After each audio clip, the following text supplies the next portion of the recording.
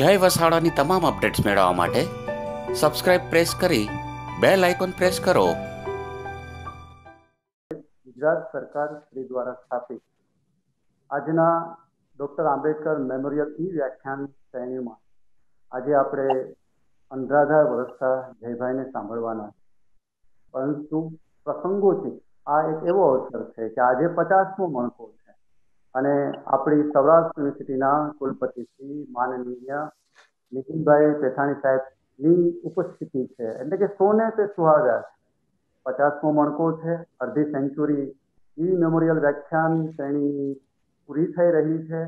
ત્યારે માનનીય કુલપતિ સાહેબ અમારી વચ્ચે છે, જયભાઈ વચ્ચે છે, અમારા ચેરમેન શ્રી વચ્ચે છે. ત્યારે આજની આ સોનેરી ઘડીએ આદરણીય ચેરમેન સાહેબ શ્રી ડોક્ટર રાજાભાઈ કાથડને નમ્ર વિનંતી કે માનવંતા મહેમાનોનું શાબ્દિક સ્વાગત કરે અને કેર સેન્ટરનો આખેરો પરિચય આપે. આદરણીય કાથડ સાહેબ. નમસ્કાર સાહેબજી. ગુજરાત સરકાર દ્વારા બે હજાર સોળમાં રાજ્યની પાંચ યુનિવર્સિટીઓને આ પ્રકારના ડોક્ટર બાબા સાહેબ આંબેડકરના વિચાર, એમનું તત્વજ્ઞાન અને એમના ચિંતનને જનમાનસ સુધી પહોંચાડવાના ગુજરાત સરકારના ઉમદા હેતુથી રાજ્યની પાંચ યુનિવર્સિટીઓને આ પ્રકારના સેન્ટરો સ્ટાફ સાથેના સેન્ટરો ફાળવ્યા છે અને રાજ્ય સરકાર દ્વારા એનું પ્રતિવર્ષ અનુદાન આપવામાં આવે છે. એમાંની એક યુનિવર્સિટી એટલે આપણી સૌરાષ્ટ્ર યુનિવર્સિટી. સૌરાષ્ટ્ર યુનિવર્સિટીમાં બે હજાર સોળમાં રાજ્ય સરકારે આ પાંચ સેન્ટરોની સ્થાપના કરી. આપણી યુનિવર્સિટીમાં આ આંબેડકર ચેર સેન્ટરનો પ્રારંભ સત્તર બે સત્તર બે હજાર સત્તરની સત્તરમી ફેબ્રુઆરીના રોજ આપણા આદરણીય સંત ઝાંઝરકાના ગાદીપતિ મહંત પૂજ્ય શ્રી શંભુનાથ પ્રસાદ મહારાજના કરકમળોથી અને બાંદ્રા આશ્રમના મહંત શ્રી ગોરધન બાપાની પાવન ઉપસ્થિતિમાં તત્કાલીન કુલપતિ પ્રોફેસર પ્રતાપસિંહ ચૌહાણ સાહેબ આદરણીય શ્રી નાથુભાઈ સોસા ધારાસભ્ય શ્રીમતી તત્કાલીન શ્રીમતી ભાનુબેન બાબરિયા શ્રી કિશોરભાઈ મકવાણા તથા સૌરાષ્ટ્ર યુનિવર્સિટીના સિન્ડિકેટ સદસ્યો, સેનેટ સદસ્ય અને સૌરાષ્ટ્ર યુનિવર્સિટીના વિવિધ ભવનના અધ્યક્ષો, અધ્યાપકો, વિદ્યાર્થીઓ, ભાઈઓ અને બહેનોની ઉપસ્થિતિમાં આ ચેર સેન્ટરનો વિધિવત રીતે પ્રારંભ કરવામાં આવ્યો. બે હજાર સત્તરથી પ્રારંભ થયેલું આ ચેર સેન્ટરની જવાબદારી મને વિશેષ રીતે સોંપવામાં આવી. એટલે ત્યારથી માંડીને અત્યાર સુધીમાં આ ચેર સેન્ટર દ્વારા ચાર રાષ્ટ્રીય કક્ષાના સેમિનારોનું આયોજન થયું. ડોક્ટર બાબા સાહેબ આંબેડકરના જીવન અને એમના તત્વજ્ઞાન કે દર્શનને અનુલક્ષીને સૌરાષ્ટ્ર યુનિવર્સિટીના પંદર જેટલા એમફિલ અને પીએચડીના કે એલએલએમના વિદ્યાર્થીઓએ પોતાના એમફિલ કે પીએચડીનો સંશોધનનો વિષય લઈને બાબા સાહેબ ઉપર સંશોધન કર્યું છે.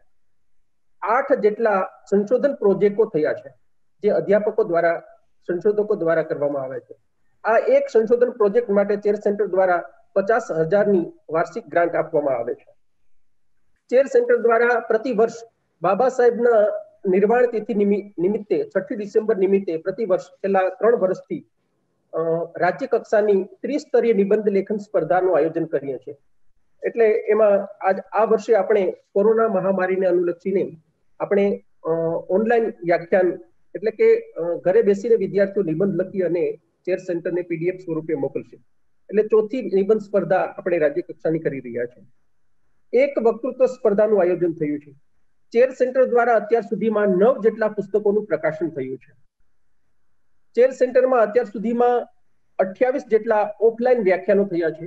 જુદી જુદી કોલેજો વિવિધ ભવનો, યુનિવર્સિટીઓ ધોરાજી સુધી, ચેર સેન્ટર ધોરાજીની કોલેજો સુધી વીરબાઈ મહિલા કોલેજમાં વગેરે કોલેજોમાં ચેર સેન્ટરના અધ્યાપકો જઈને ડોક્ટર બાબા સાહેબ આંબેડકર ઉપર જુદા જુદા વિદ્વાનો દ્વારા વ્યાખ્યાન આપવામાં આવ્યા છે. આજે આપણે આ ઓનલાઈન વ્યાખ્યાનનું અડધી સદીએ પહોંચ્યા છે. અને અડધી સદીએ પહોંચ્યા એટલે અમારે આપણા કુલપતિ સાહેબ અને ઉપકુલપતિ સાહેબની એવી ઈચ્છા હતી કે આપણું પચાસમું વ્યાખ્યાન થાય ત્યારે એક આપણા ઉત્તમ વક્તાઓમાંથી જયભાઈ વિસાવડા વગેરેને આપણે કોઈકને આમંત્રણ આપીએ. દિનુભાઈના પ્રયાસથી જયભાઈ આપણને સંમતિ આપી અને આજે આપણે પચાસમું વ્યાખ્યાન કરવા જઈ રહ્યા છીએ. જયભાઈની આપણે હમણાં થોડી વારમાં સાંભળવાના છીએ. ચેર સેન્ટરની લાઇબ્રેરી પણ સમૃદ્ધ છે. અત્યાર સુધીમાં સત્તરસો ને પંચોતેર જેટલા પુસ્તકો ડોક્ટર બાબા સાહેબ આંબેડકર ઉપરના તથા ભારતના જુદા જુદા વિદ્વાનો ના જીવન કવન અંગેના પુસ્તકો ચેર સેન્ટરની લાઇબ્રેરીમાં છે. ચેર સેન્ટરમાં પોતેના બે ચેરમેન, બે અધ્યાપકો છે, ક્લાર્ક છે, પ્યુન છે અને ચેર સેન્ટરને યુનિવર્સિટીએ પૂરી સ્વતંત્રતા આપી છે અને ચેર સેન્ટર માટે એક સ્વતંત્ર બિલ્ડિંગ આપ્યું છે. ચેર સેન્ટરની પોતાની લાઇબ્રેરી છે, એનો સેમિનાર હોલ છે અને બધા જ ફેકલ્ટી માટેની બધાની ચેમ્બર છે. એટલે યુનિવર્સિટીના આશીર્વાદ ચેર સેન્ટર ઉપર ખૂબ સારી રીતે પડી રહ્યા છે. આજના આ વ્યાખ્યાનમાં ઉપસ્થિત આપણી યુનિવર્સિટીના કુલગુરુ પ્રોફેસર આપણા આદરણીય પેથાણી સાહેબનું હું આજના આ વ્યાખ્યાનમાં ખૂબ ખૂબ સ્વાગત કરું છું. આ ઉપરાંત આજના આપણા કટાર લેખક અને વક્તા જેની આંતરરાષ્ટ્રીય ખ્યાતિ છે એવા જયભાઈ વસાવડાનું હું ચેર સેન્ટર અને સૌરાષ્ટ્ર યુનિવર્સિટી વતી ખૂબ ખૂબ સ્વાગત કરું છું. આ ઉપરાંત આજે ઓનલાઈન વ્યાખ્યાનમાં ફેસબુકના માધ્યમથી, યુટ્યુબના માધ્યમથી અને ઝૂમના માધ્યમથી સૌરાષ્ટ્ર યુનિવર્સિટીની પણ ફેસબુક, ઝૂમ અને ઇન્સ્ટાગ્રામ વગેરેના જુદા જુદા માધ્યમો દ્વારા આજે આપણે બધા સાંભળી સાંભળી રહેલા શ્રોતાઓનું હું આજના તબક્કે હું હૃદયપૂર્વક સ્વાગત કરું છું. અને આ કાર્યક્રમને આગળ વધારીએ છીએ. આભાર. થેન્ક યુ કાતર સાહેબ. કેર સેન્ટરની ચેતનવંતી પ્રવૃત્તિની વાત કરી સાહેબે અને સુગંધી શબ્દોથી મહાનુભાવનું સ્વાગત, ખૂબ હાર્દિક સ્વાગત થયું. અને હવે કાર્યક્રમને આગળ વધારીએ. યુનિવર્સિટીના માનવંતા કુલપતિશ્રીને નમ્ર નિવેદન વિનંતી છે કે તેઓ પ્રસંગોચિત ઉદ્બોધન કરે. આદરણીય પેથાણી સાહેબ. સૌને નમસ્કાર. સૌરાષ્ટ્ર યુનિવર્સિટીનું બાબા સાહેબ આંબેડકર ચેર સેન્ટર ના પચાસમાં મણકામાં આપણી વચ્ચે આપણા જ અને આપણા હૃદય સુધી એમ જેમનું સ્થાન છે અને અનેક હૃદય સુધી પહોંચ્યા છે એવા આપણા જયભાઈ, આ ચેર સેન્ટરને સુપેરે ચલાવી રહ્યા છે એવા પ્રોફેસર રાજાભાઈ કાથડ. આજે ઉદ્ઘોષણાની જેને જવાબદારી છે એવા દિનુભાઈ અને સૌ શ્રોતા મિત્રો. પચાસમો મણકો એટલે ખૂબ જ આનંદની ઘડી કહેવાય. મને બરાબર યાદ છે, છઠ્ઠી ઓક્ટોબરના રોજ આપણે પાંત્રીસના મણકામાં હું આખા મણકામાં હાજર રહ્યો હતો. અને એમનો વિષય હતો જયભાઈ, એ પાંત્રીસમાં મણકાનો વિષય. ડોક્ટર આંબેડકર ઋષિ દર્શન ભારતીય સંવિધાન. આ વિષયનો આસ્વાદ કરાવેલો હતો આપણા સાંસદ ડોક્ટર કિરીટભાઈ સોલંકીએ. હું આ ઘટનાને ગઈકાલની જ ઘટના ગણું છું કે અને આજનો વિષય એ બંને વિષય વચ્ચેની પ્રસ્તુતિ જો આજનો વિષય છે કે ભારતના નિર્માણમાં ડોક્ટર બી આર આંબેડકરનું વિશિષ્ટ પ્રદાન. એક પાંત્રીસમાં મણકામાં આપણે એક ઋષિ દર્શન એનું કરાવી આવીએ છીએ. અને આજે એ ઋષિ દર્શન કરાવવા પાછળ પાંત્રીસના મણકામાં જે વિષય મૂળ હતો એ ભારતીય સંવિધાન. અને ગઈકાલનો દિવસ, એટલે છવ્વીસમી નવેમ્બર, એ સંવિધાન દિવસ તરીકે આપણે સૌએ ઉજવ્યા. સૌથી ઊંચેરું નામ અને પહેલું નામ આવતું હતું એ જે ખરડા સમિતિ કે બંધારણ સમિતિ હતી, એના અધ્યક્ષ તરીકે કોણ હતા? તો કે ડોક્ટર બાબા સાહેબ આંબેડકર. તો ભારતના નિર્માણમાં ભારતને એક ચોક્કસ દિશા આપવા માટે ભારતને એક ઊંચેરી લઈ જવા માટે એમણે ખૂબ જ સારી રીતે ગઈકાલે ઘણી બધી વાતો થઈ હશે કે બે વર્ષ અઢાર અગિયાર મહિના અને અઢાર દિવસ સુધીના સમયમાં આ ભારતનું બંધારણ તૈયાર કર્યું. અને સમિતિમાં જે વિશિષ્ટ અને વિવિધ લોકો હતા, એને સાથે રાખીને એક એવું સંવિધાન આપણને આપ્યું કે જે આજે પણ પ્રસ્તુત છે અને આજે પણ ખૂબ સારી રીતે આ વિસ્તૃત, લાંબુ અને અનેકવિધ દેશોના સંવિધાનનું સમિશ્રણ કરતું આ સંવિધાન આપણી સામે જ્યારે આવ્યું, ત્યારે આપણે ખૂબ ધર્મગ્રંથ લઈને નાચતા હોય એવો ધર્મગ્રંથ આપણો, જો ભારત એક ધર્મનો દેશ છે બિન સાંપ્રદાયિક દેશ છે, તો એ ધર્મ જો ભારતનો અને ધર્મ ગ્રંથ જો કેવો હોય, તો એ આપણું સંવિધાન છે. આવું સંવિધાન આપીને આપણને સૌને એક વિશિષ્ટ પ્રદાન ભારતના નિર્માણમાં જેનું રહ્યું છે, એવા ડોક્ટર બાબા સાહેબ આંબેડકર. આ ચેર દ્વારા બાકીના અનેક વિધ મણકામાં એમના જીવન અને કવન વિશે અને એમની વિવિધ પ્રકારની શૈલીઓ અને એને અનેકવિધ ક્ષેત્રમાં કરેલા કાર્યો ને આપણે ખૂબ જ સારી રીતે અવગત થયા છીએ એટલા નહીં, લોકો સુધી પહોંચાડીને સાચ અર્થમાં આપણે એટલે કે આ ચેર સેન્ટર ધન્ય થયું છે. આજે પચાસના મણકામાં પણ હું ખૂબ ખૂબ અભિનંદન આપું છું, શુભેચ્છાઓ આપું છું કે આ જ પ્રકારે એક ભારતની વિશિષ્ટ વ્યક્તિ વિભૂતિ ને આપણે દરેક વ્યક્તિ સુધી સાચી માહિતી પહોંચાડી અને એ પ્રેરણા પુરુષ કે રાષ્ટ્ર પુરુષ કે જે મેં તો કુળ દીપક પણ એમને એક વખત બિરદાવીને કહ્યા હતા, એ કુળ દીપકને આપણે સાચી દ્રષ્ટિએ મૂલવીએ દરેકે દરેકના હૈયા સુધી એનો સાદ પહોંચાડીએ. તો એ સાચી બાબતની શ્રદ્ધાંજલિ કહેવાય. આજે પણ હું એમને યાદ કરી અને આપ સૌ વચ્ચે એ પ્રસ્તુત કરવા માટે જયભાઈને આમંત્રિત કરું છું. વિશેષ એમનું ખેડાણ પણ છે અને વિશેષ નહીં કહેતા હું પણ સાંભળવા માટે મારા કાન પુલકિત છે. એટલે પુનઃ ચેર સેન્ટરને હું અભિનંદન આપું છું. રાજાભાઈ અને એની ટીમને અને આ જ પ્રકારે આ મણકો સો સુધી પહોંચે. કારણ કે સત્તાવન સુધીના તો મારી પાસે વિષય અને તારીખ આવી ગઈ છે. અને બાકી આગળ ધીમે ધીમે વધુ ને વધુ પ્રગતિ કરે એવી શુભેચ્છા સાથે જયભાઈને સાંભળવા માટે હું પણ તલસ્પર્શી છું. એટલે પુનઃ આપનું સ્વાગત છે અને હું મારી વાત પૂરી કરું છું. વસ્તુ આદરણીય કુલપતિ સાહેબના, આદરણીય કુલપતિ સાહેબના પ્રેરક ઉદ્બોધન પછી. અને સાહેબ તમારા આશીર્વાદ હશે તો આપણે આ ઈ મેમોરિયલ વ્યાખ્યાનની સેન્ચુરી ફટકારીશું. અને એ પણ અણમ. હવે આપણે જેમની પ્રતીક્ષા કરી રહ્યા છે એવા જય વસાવડા, થોડોક આછેરો પરિચય આપવો છે મારે. અને એ પરિચય એ બાહ્ય પરિચય નથી, પણ જય વસાવડાનો આંતરિક પરિચય છે. આ જયભાઈ, મને લિયોનાર્ડો દ વિન્ચીની એક સંવાદાત્મક શૈલીમાં હું કહું, તો કેવા છે? વિન્ચીને કોઈએ પૂછ્યું કે લોકો કેટલા પ્રકારના હોય? વિન્ચીએ કીધું કે ત્રણ પ્રકારના. તો કે ક્યાં ક્યાં? તો કે પ્રથમ પ્રકારના કશું જોતા જ નથી. બીજો પ્રકાર જ્યારે દેખાડવામાં આવે ત્યારે જુએ છે. અને ત્રીજા પ્રકારના લોકો પોતાની જાતે જુએ આ ત્રીજા પ્રકારના જે લોકો છે, પોતાની જાતે જુએ છે જગતને, એમાં જય વસાવડા આવે છે. આ માણસનું અનુષ્ઠાન શું છે? મને એવું લાગે છે કે એક પંક્તિને જીવે છે. સુરતના કવિ ગોરાંગ ઠાકરની એક પંક્તિ છે કે હું સાંકડી ગલીમાં રસ્તા કરી જવાનો, હું સાંકડી ગલીમાં રસ્તા કરી જવાનો, માણસ સુધી જવાનો, આગળ નથી જવાનો.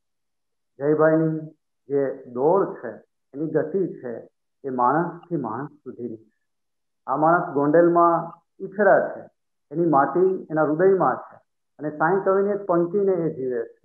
પંક્તિ છે ગમતું મળે તો અલ્યા ગુંજે, ન ભરીએ. જમતાનું કરીએ ગુલાલ. આ માણસ અસંખ્ય પુસ્તકો લખે છે, પણ એ પુસ્તકો એની અનુભવની પાઠશાળામાંથી આવે વિશ્વના પ્રવાસો કરી અને વેકેશન પેશન આપે છે.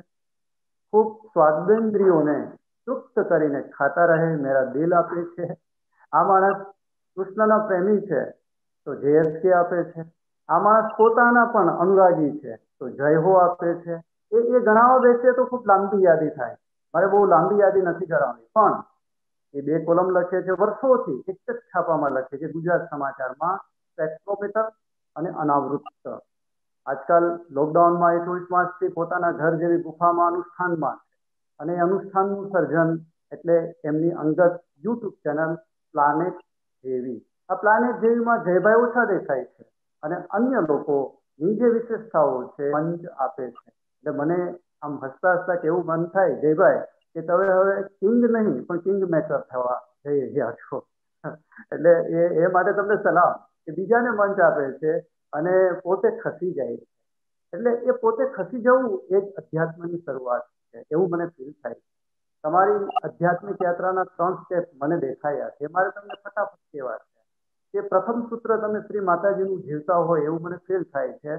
સૂત્ર છે કે ભૌતિક રીતે તમે કશું જ નથી, પણ આધ્યાત્મિક રીતે તમે ખૂબ જ છો. તમને એ ખબર પડી ગઈ છે કે આધ્યાત્મિકતા છે એ અનંત છે.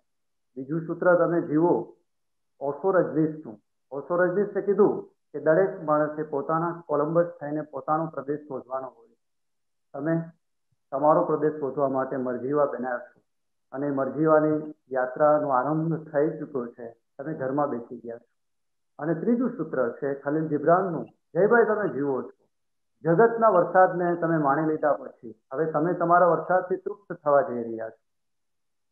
જિબ્રાને કીધું કે જે માણસને જે માણસ પોતાના વરસાદથી તૃપ્ત નથી, એને ગમે એટલો વરસાદ પણ તૃપ્ત નહીં કરી શકે. અને તમે હવે ખૂબ છલોછલ થઈ રહ્યા છો. અને એ છલોછલની તૃપ્તિ તમારા વ્યાખ્યાનોમાં, તમારા ચહેરાઓમાં, તમારા આચરણમાં દેખાઈ રહી છે. અને એ દેખાઈ રહી છે, એનો આનંદ તમારા ભાવકોને ખૂબ જ છે. જયભાઈ, તમને એક અશોકપુરી ગોસ્વામીની પંક્તિથી આમંત્રણ આપવું છે. આજના ઈ મેમોરિયલ વ્યાખ્યાન આપવા માટે. અશોકપુરી ગોસ્વામી કદાચ તમારા માટે જ લખી ગયા છે. આમ તો આકાશ કે સમંદરમાં ક્યાંય પણ કેડી નથી. એનો અર્થ એ નથી કે કોઈએ સફર ખેડી નથી. તમે એવી સફર ખેડી છે અને એ સફરના કેટલા પાક અનુભવો તમે ખૂબ જ ખિસ્સામાં ભર્યા સિવાય વહેંચો છો. એ માટે તમને સલામ. આવો, જયભાઈ. આજનું ઈ મેમોરિયલ વ્યાખ્યાન ડોક્ટર બાબા સાહેબ આંબેડકરનું ભારતના નવનિર્માણમાં જે પ્રદાન છે, એ પ્રદાન વિશે આપ કહો એવી નમ્ર વિનંતી છે. જયભાઈ. નમસ્તે અને ખૂબ ખૂબ આભાર, દિનુભાઈ. તમે પોતે આધ્યાત્મિક યાત્રાના પ્રવાસી છો એટલે તમારી આંખ રૂડી થઈ છે એને કારણે, એટલે તમને બીજામાં પણ આ સરસ દર્શન દેખાય છે. એટલે મને તો ધન્યતાનો અનુભવ થયો. મેં હમણાં પુસ્તક એક જે તૈયાર કર્યું, દિવાળી ઉપર જ. જયત્વ, પચીસ વર્ષ જે લેખન યાત્રાના થયા અને ઘણા બધા પ્રવાસો કર્યા, એના ફોટા મારા જ પાડેલા અને અંદર કોટ્સ તો એમાં મેં એવું લખ્યું છે કે આ ભીતરની અને બહારની બંનેની યાત્રા છે. એટલે આ પ્રકારના કાર્યક્રમોમાં પણ આપણે જયારે ભેગા થઈએ ત્યારે બે યાત્રાઓ થતી હોય છે. આમ બહારની યાત્રાઓ અત્યારે બંધ છે કોરોનાને કારણે. પણ ભીતરની યાત્રા જે છે એ તો આપણું નિત્ય વહેવાનું ચાલુ જ રહે. એટલે એ રીતે પણ એનો એક વિશેષ આનંદ હોય છે.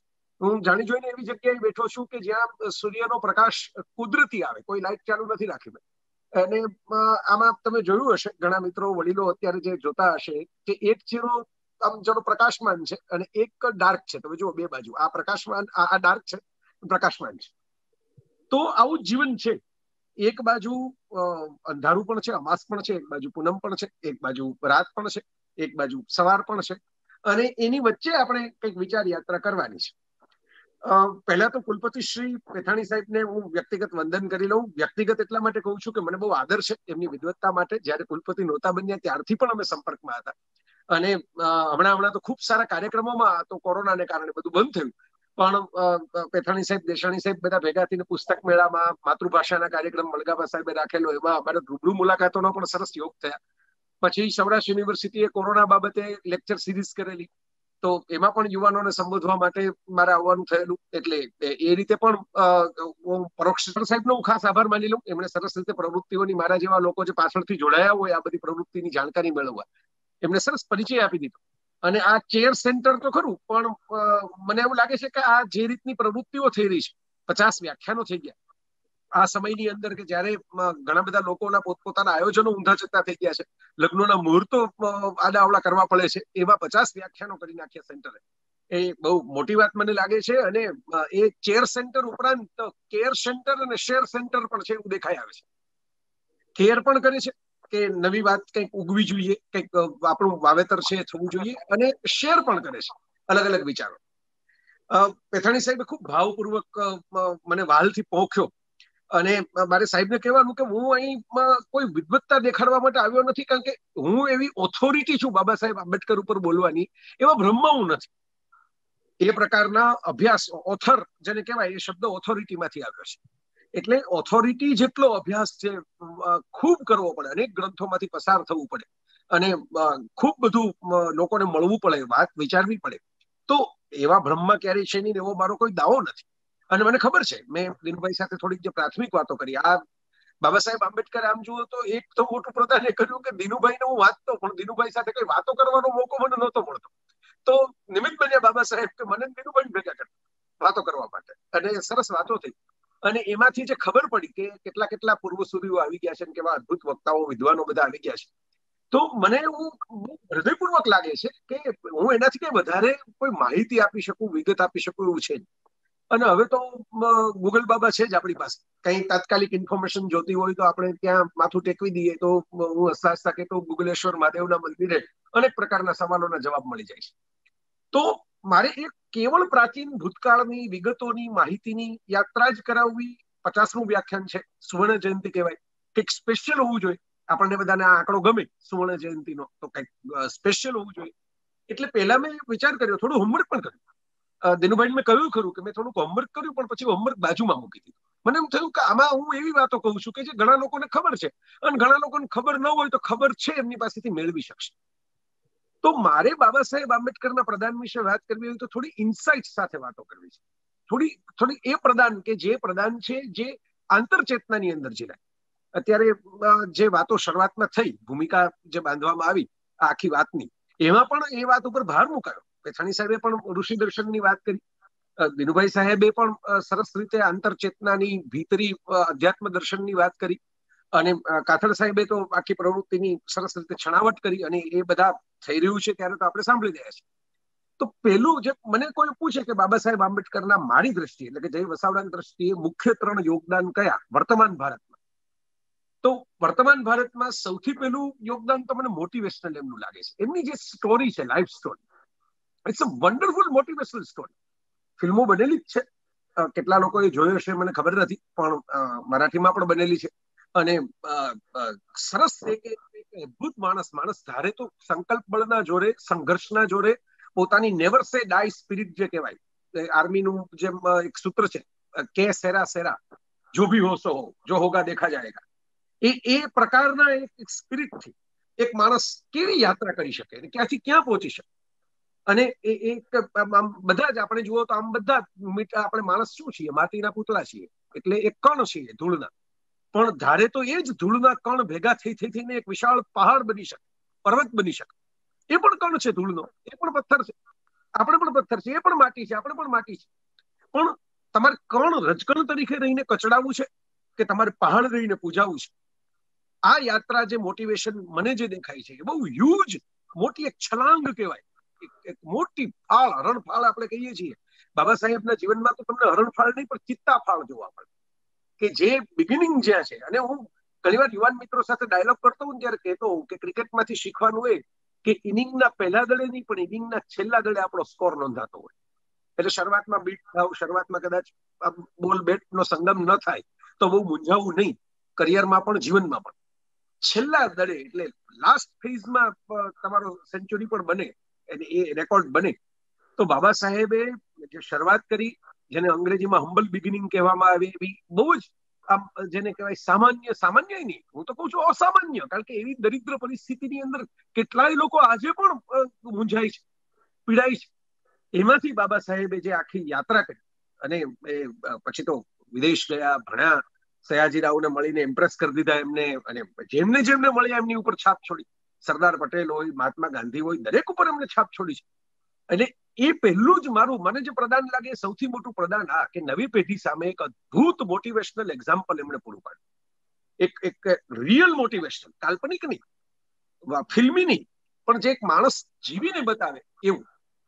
તો આ પહેલું મને બહુ મોટું યોગદાન લાગે છે.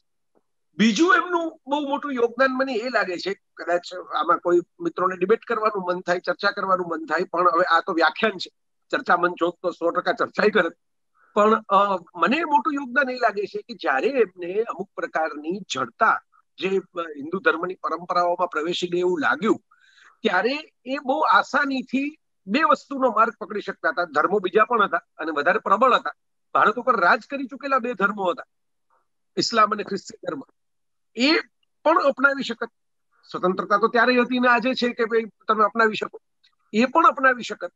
અથવા તો સંપૂર્ણપણે નાસ્તિકતાનો જયઘોષ કરીને પણ એક જુદી વિભાજન કરી શકત. પણ ભારતની અખંડતાને, સંપ્રભુતાને નુકસાન ન થાય એટલા માટે બાબા સાહેબે વિચક્ષણતાથી પુનઃપૂર્વક અને પોતાની વાત પણ રહી જાય, પોતાનું સમાન પણ જળવાય અને ભારતીય સંસ્કૃતિના વારસાનું ખંડન પણ ન થાય. એવો નિર્ણય લઈને બૌદ્ધ ધર્મ જે અંગીકાર કર્યો, એટલે એક સિમ્બોલિક પ્રોટેસ્ટ કે ભાઈ, મને જે વસ્તુ ખુદ બુદ્ધ અને મહાવીર પણ જે મૂળ ભારતીય વારસા હતા, એમાંથી કેટલીક નવી ધારાઓ અને ચેતનાઓ લઈ આવે અને ભારતમાં તો એનું મોકળાશ છે, એનું ખુલ્લાપણું છે. આપણે તો ચારવાકને પણ ઋષિ કયા છે. એટલે આપણે ત્યાં એવું મોકળાશ નથી, એવું નથી. અલગ અલગ વિચાર, અલગ અલગ મત, એકમ સદ વિપરા બહુધા વદંતી, એ વેદવાણી છે આપણીમાં. એટલે મને એ વાત બહુ ગમે છે અને એ સિગ્નિફિકન્ટ લાગે છે ને, એને કારણે દેશને જે ફાયદો થયો છે, એ ફાયદો પણ આપણે નોંધવો જોઈએ. અને હું તો ત્યાં સુધી કહેવા તૈયાર છું કે બુદ્ધ છે એ ભારતની બહાર જતા રહ્યા. કારણ કે ભારતની બહાર જતા રહ્યા ઇન ધ સેન્સ ચીનની અંદર, જાપાનની અંદર થાઈલેન્ડની અંદર, ઇન્ડોનેશિયામાં, કંબોડિયામાં, ત્યાં બધી બુદ્ધની વાતો, બુદ્ધની મૂર્તિઓ, બુદ્ધના પૂજનો, બુદ્ધની પરંપરાઓ બધું ચાલુ છે. પણ ભારતમાં બુદ્ધને જીવતા રાખ્યા હોય તો એમાં બાબા સાહેબનું પણ એક મહત્વનું યોગદાન ખરું. જેમ દસ અવતારની અંદર એમને વિષ્ણુ સાથે કનેક્ટ કરીને એક સમન્વયની સંસ્કૃતિમાં જોડવાનું આપણા પૂર્વસૂરીઓએ જે પ્રયાસ કર્યો ઋષિઓએ, એવી જ રીતે એક આ અનોખો વીસમી, એકવીસમી સદીના યુવક, યુવતીઓ માટેનો પ્રયાસ પણ કહી શકાય. બુદ્ધત્વ જીવંત રાખવાનો પ્રયાસ એટલે એ મને બીજું મહત્વનું યોગદાન લાગે છે. અને ત્રીજું મહત્વનું યોગદાન, જેની ચર્ચા પેથાણી સાહેબે પણ એમના શરૂઆતની વાતમાં કરી છે, સંવિધાન. આપણે જયારે ચર્ચા કરીએ છીએ ને ભારતની ભારતની આઝાદીની વર્તમાન સમસ્યાઓની પણ રાજકારણ આવું છે, પરિસ્થિતિ આવી છે, ગરીબી આવી છે, મુશ્કેલીઓ આવી છે, ત્યારે આપણે ભૂલી જઈએ છીએ કે એકાદ હજાર વર્ષ જેટલી લાંબી ગુલામીમાંથી આપણે પસાર થયા. અને એ પહેલા પણ જે એક ભારત, અખંડ ભારત, શ્રેષ્ઠ ભારત બધું ગણીએ, તો એ રાજાઓ પાસે હતું. કોઈ બાદશાહ હોય, કોઈ રાજા હોય, એવા નામો આપણને જોવા મળે ઇતિહાસની અંદર. કૃષ્ણએ જે સુધર્મ સભાની ચર્ચા કરી અને એક પ્રયોગ ત્યારે કર્યો, વૈશાલી અને લિચ્છવીના ગણરાજ્યોના આપણે વાતો સાંભળીએ છીએ. પણ એક રાજ્ય, એક પ્રદેશ અને સમગ્ર ભારત વર્ષ સંપૂર્ણ લોકશાહી, જ્યાં સરકાર આ બહુ મહત્વની વાત છે. અને એ બાબા સાહેબનો વારસો છે, બહુ મોટું પ્રદાન છે કે આજે આપણે એમ કહી શકીએ છીએ કે સરકાર વ્યક્તિઓની નથી, સરકાર વિચારોની છે. સરકાર કોઈ કોઈ એક એક આગેવાનની નથી, સરકાર કાયદાઓની છે. આ કાયદાઓની સરકાર એ ભારત માટે બહુ નવો પ્રયોગ હતો. કારણ કે આપણે એ એ જોયું નહોતું. આપણે કાયદાઓ બનાવનારને પૂછીએ છીએ, પણ કાયદાઓને નથી પૂછતા એવું બન્યું છે કે જેને જેને નિયમો આપ્યા, એને આપણે પૂજા કરી, એના પગે પડ્યા. પણ નિયમને એટલી પૂજા આપણે ઘણીવાર તો હું તો હસતા હસતા કહેતો હોઉં કે આપણા નાગરિક ધર્મની અંદર કાયદા તોડવામાં લોકોને મજા આવે થ્રીલ આવે. તમે એમ લખ્યું હોય કે અહીંથી ફૂલ તોડવા નહીં તો માત્ર સાહસ કરવામાં જ ફૂલ તોડી આવે બેચાર રંગ લીલો છે એવું તમે લખો બેન્ચ ઉપર કે દિવાલ ઉપર, તો યા પાછા આંગળીના થાપા મારી આવે. એ એ જે ઇનહેરન્ટ સાયકોલોજી આપણી છે, કારણ કે આપણે હજારો વર્ષોથી કાયદા અને સંવિધાનની નીચે રહેવાની ટેવ નથી પાડી. એ ટેવ પાડવાનું આખું જે ફ્રેમવર્ક છે, એ બાબા સાહેબે તૈયાર કર્યું. બંધારણ સભા સાથે ઘણા બધા નામો જોડાયેલા છે. પણ જેમ બે હજાર અગિયારની અંદર મહેન્દ્રસિંહ ધોની એ કેપ્ટનીમાં આપણે વર્લ્ડ કપ જીત્યો અને બે હજાર સાતમાં ટી ટ્વેન્ટી કપ ને પછી આઈસીસી કપ તો આજે આપણે ધોની ધોની કરીએ છીએ, એ કેપ્ટનશીપ માટે કરીએ છીએ કે ભાઈ ટીમમાં તો બીજા પ્લેયર હતા ને એમના યોગદાન હતા. એમને કઈ એકલા ધોની રમવાનો તો ગયો અને એકલા ધોનીથી કપ પણ નથી થાય પણ એક કેપ્ટનશીપની જે વેલ્યુ છે, એ એમ અધ્યક્ષ તરીકે બાબા સાહેબે અને એ બહુ સિમ્બોલિક વેલ્યુ છે, દુનિયાને પણ આપણે બતાવી શકીએ. કે આપણે આપણે છે ને અન્યાયો ભારતમાં કેવા થાય ને આ થાય ને એની ચર્ચા દુનિયા કરે છે, પણ આપણે એ અન્યાયોનું સુધારા રેક્ટિફિકેશન સોલ્યુશન પણ લઈ આવીએ છીએ. તો એની ચર્ચા પણ દુનિયાને જયારે વટથી બતાવી શકીએ. હું ઘણીવાર યુવાન મિત્રો સાથે સંવાદ થાય ત્યારે કહેતો હોઉં છું કે ગાંધીજીની અહિંસાનું પ્રદાન એ છે કે આપણે મોટા ભાગના અત્યારે જે ધાર્મિક મઝહબી ત્રાસવાદીઓ જે પોતપોતાના એજન્ડા લઈને એમ કે અમે બોમ્બ મારા કરીએ, અમે તોડફોડ કરીએ, અમે મારામારી કરીએ, અમે નિર્દોષોને મારી નાખીએ. ત્યારે આપણે એમ કહી શકીએ કે આઝાદી તો અમે લીધી છે, પણ નિર્દોષોને મારીને નથી લીધી. એ એમનું યોગદાન. એમ બાબા સાહેબનું મોટું યોગદાન એ કે તમામ પ્રકારના અન્યાય પછી, અવહેલના પછી, વેદનાઓ પછી મુશ્કેલીઓ, પીડાઓ અને અમારા નગીનદાસ સંઘવી અત્યારે તો આ દુનિયામાં હયાત નથી શકાયું થઈને આ વર્ષે જ વિદાય લઈ ગયા. પણ એમણે એક સરસ વાત પ્રિય બાપુ ત્યાં અસ્મિતા પર્વની અંદર કરેલી કે ચીસ ને કમ્પોઝ ન કરી શકાય. ચીસ પીડાની, વેદનાની જે ચીસ નીકળે ને, એમાં કઈ સૂર ન હોય, કારણ કે એને કમ્પોઝ કરેલી કોઈ ગીત નથી. એ કોઈ સુગમ સંગીત નથી, એ કોઈ માધુર્ય વાળી વસ્તુ નથી ચીસ છે. બાબા સાહેબ ધારક તો એ એ રસ્તે પણ જઈ શકત અથવા તો જવાની પ્રેરણા આપી શકત. એને બદલે એમણે કયા રસ્તાની પ્રેરણા આપી આપણને? સંવિધાનના રસ્તા, બંધારણના રસ્તાની ન્યાય અને અદાલતના રસ્તાની કોર્ટના રસ્તાની કાયદાના રસ્તાની પેલા નક્સલી રસ્તાઓની નહીં. આ બહુ મોટું પ્રદાન છે. આ પ્રદાન છે ત્યારે આજે હું તમારી સાથે આ વાત કરી રહ્યો છું. નહીતર કોને ખબર કે આ વાત કરવાની કે વાત સાંભળવાની સ્વતંત્રતા પણ આપણી પાસે હોત કે ન હોત? તો ચૂંટણીઓ આવી રીતે થતી હોત અને સત્તા પરિવર્તન ચૂંટણીને કારણે ઘણા બધા લોકોને એમ થાય ચૂંટણી વખતે આમ થાય, ચૂંટણી વખતે તેમ થાય, પણ ચૂંટણીનો ડર શું કામ રહે છે? પાવરફુલ લોકોને પણ. એટલા માટે રહે છે કે ખબર છે કે લોકશાહીની અંદર લોકો પાસે આ એક દિવસ તો તાકાત આવવાની છે. યસ ઓર નો કહેવાની. એ માનસિક લટકતી તલવાર જે છે એ સંવિધાનની તલવાર છે. બંધારણની તલવાર છે. અને એ તલવાર હોવી જોઈએ સ્વસ્થ લોકશાહીની અંદર. અને એ બાબા સાહેબ બંધારણની સંતુલિત બંધારણ છે. આપણું બંધારણ છે એ એક જમાનામાં હું નાનો હતો ને ત્યારે જોશ હોય ને ત્યારે ત્યારે ફિલ્મો એવી ગમતી હોય ટીશુમ ટીશુમ વાળી. બહુ લાંબા લાંબા ડાયલોગ આવે તો બહુ ટોકેટિવ ફિલ્મ છે આપણે જોવા ન જવાય એવું મિત્રો કહી દે આપણે ના પાડી દઈએ. આજે ઉલટું થતું હોય કે સતત ટીશુમ ટીશુમ આવે તો એમ થાય તો આદરણીય સંત આના કરતા કે આજે છે કે ભાઈ તમે કલાત્મક રંગ એવી ફિલ્મ જોઈએ. એમ એક જમાનામાં મને એમ થતું કે ભાઈ આ બહુ બધું કાયદાઓ આદરણીય સંત છે આમ છે. જેમ જેમ ઉંમર વધતી ગઈ જેમ જેમ અનુભવો વધતા ગયા જેમ જેમ પ્રવાસ કર્યો, પેલો ભીતરનો અને બહારનો, એમ મને સમજાયું કે ના, આ આ મહત્વનું છે. કાયદાઓ વધારે છે તો કાયદાઓમાં એમેન્ડમેન્ટની છૂટ માટે વિધાનસભા અને સંસદ છે. સંસદનો પ્રભાવ એક ધારો વધી ન જાય એના માટે હાઈકોર્ટ અને સુપ્રીમ કોર્ટ છે. સુપ્રીમ કોર્ટના હાઈકોર્ટ જ પોતે રાજ ન કરવા લાગે, એના માટે પાછું એની ઉપર રાજકીય ઓથોરિટીનો ચેક છે. એવું જ લશ્કરનું છે. અને લશ્કર ઉપર પાછો બંધારણીય રીતે ચૂંટાયેલા વ્યક્તિઓનું પકડ છે. બહુ સરસ એક બેલેન્સ કરવાનો પ્રયત્ન આપણા પૂર્વસૂરીઓએ કર્યો. અને એ એમાં મોખરે બાબા સાહેબ રહ્યા એ એક મોટું પ્રદાન હવે યોગદાન જે મને લાગે, જે અત્યાર સુધી ઝીલાયેલું યોગદાન, આ એક મોટિવેશનલ સ્ટોરીનું યોગદાન, આ બૌદ્ધ ધર્મ અને બુદ્ધત્વની એક ફિલોસોફી છે, એને જીવંત રાખવાનું યોગદાન અને ત્રીજું આ સંવિધાનની અંદર દેશને આમ દેશી ખેડૂતનો શબ્દ વાપરું તો જોતરવાનો, પલોટવાનો, જે પ્રયાસ એમણે ધૂણી ધખાવી હું એવો શબ્દ વાપરી શકું કાઠિયાવાડી તરીકે, ધૂણી ધખાવી એમણે ધૂણી ધખાવીને એ જે વાત કરીને, એમનું પ્રવચન કોઈ કોઈ મિત્રોએ વાંચવા જેવું, સાંભળવા જેવું છે કે જે એમણે જયારે રજૂ કર્યું આપણે સંસદ પાર્લામેન્ટની અંદર આ સંવિધાન, અને જે આશા પણ પ્રગટ કરી, જે વિશ્વાસ પણ પ્રગટ કર્યો, જે કેટલીક એક એક વડીલ જેવી રીતે જરા સૂચનાઓ આપે, કાળજી રાખવાની. એવી એવી વડીલશાહી સૂચના પણ હતી. એ બધું જરા વાંચવા જેવું સાંભળવા જેવું છે. આપણી મુશ્કેલી એ છે કે આપણે અલગ અલગ આપણા જે આઝાદીના સમયના નેતાઓ ઉપર પોતપોતાના ફેવરિટ ગણી લઈએ છીએ. આ મારા ફેવરિટ આ તમારા ફેવરિટ આ મને આ ગમે, તમને આ ગમે, મને સુભાષબાબુ ગમે, તમને ભગતસિંહ ગમે. આ ફેવરિટિઝમની અંદર આપણે એમને અન્યાય કરીએ છીએ કે બધા મૂળ તો ભારત રાષ્ટ્રકાર છે એમનું બિલ ધબકતું હતું. આ દેશની પ્રગતિ થાય. પોતાની પ્રગતિ તો બધા કરીને બેઠા હતા. એમાં શું પ્રોબ્લેમ હતો? ભગતસિંહ ભણીને આવ્યા હતા. સુભાષચંદ્ર બોઝ આઈસીએસ થયેલા હતા. મહાત્મા ગાંધીની બેરિસ્ટરની પ્રેક્ટિસ ચાલતી હતી. સાવરકરની પણ લંડનની અંદર ભણેલા હતા. હવે કોણ એવા હતા જેને પોતાની પ્રગતિ નહોતી કરી? તમે વિચાર કરો, લોકમાન્ય તિલક પોતાનો બંગલો બનાવવાનો હોત, પોતાના જ કપડા સરસ કરવાના હોત, ડોક્ટર બાબા સાહેબ આંબેડકર તો અમેરિકા હતા. અમેરિકા રહી શકત. પણ એમણે જે પ્રગતિ કરી, એ પ્રગતિ સૌથી મહત્વની જો મને લાગતી હોય, તો એ વસ્તુ આ આ મને લાગે છે. મારી મારી આ વ્યક્તિગત માન્યતા છે કે એમણે આ આ બધા વચ્ચેથી આ તમામ પૂર્વસૂરીઓ દેશ માટે કંઈક ને કંઈક છોડતા ગયા. શું કામ? તો કે આવતીકાલનું એક સરસ ભારત બનાવવું છે. આવતીકાલનું એક સરસ ભારત બનાવવું છે. મને દુઃખ થાય કે જે નવી પેઢીના મિત્રો એમાંથી કોઈ નહીં વાંચ્યા વગર, માત્ર એમના વિશે સાંભળી સાંભળીને એમના વિશે બે પાંચ વોટ્સઅપ ફોરવર્ડ વાંચી વાંચીને એમના નામે પોતે તો ઝઘડી પડે એમને ઝઘડાવી દે સામસામે.